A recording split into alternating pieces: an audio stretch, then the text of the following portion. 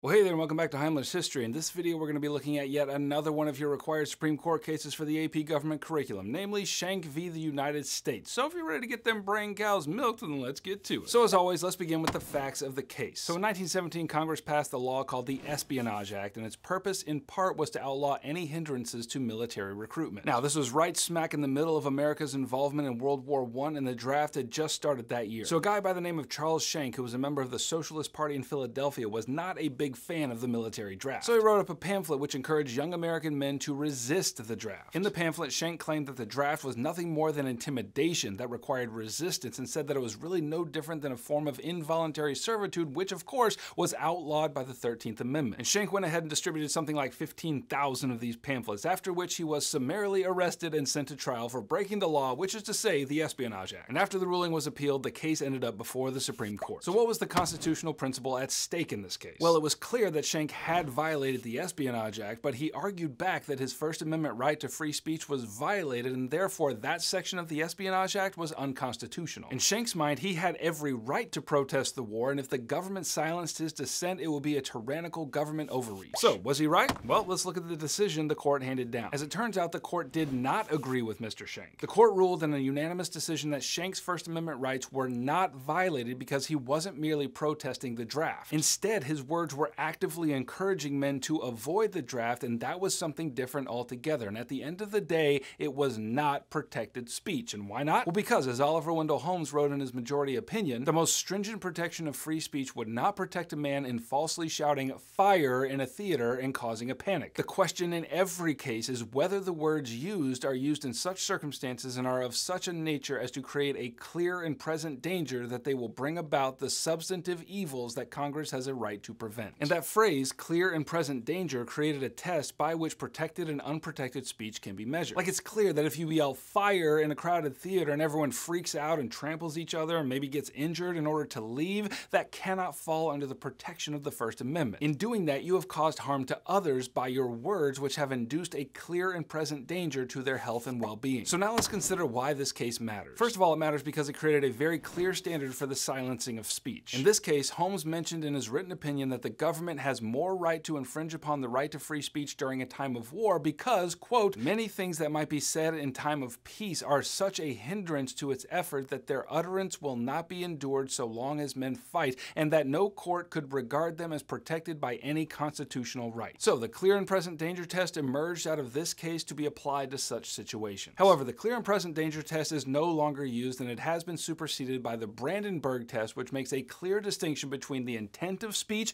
and its likelihood to incite lawless activity. In other words, if it's clear that the speech did not intend to incite lawless action, then even if it is incendiary and offensive, the speech is usually protected. And really what you should remember here is that the Brandenburg test set an even higher bar for the government to clear before silencing speech. Okay, that's what you need to know about Schenck v. the United States. Click here if you want a review packet, which is going to help you get an A in your class and a 5 on your exam in May. And additionally, I have developed a Heimler test that helps me determine whether I should keep making these videos. If you subscribe, then I'll keep making them.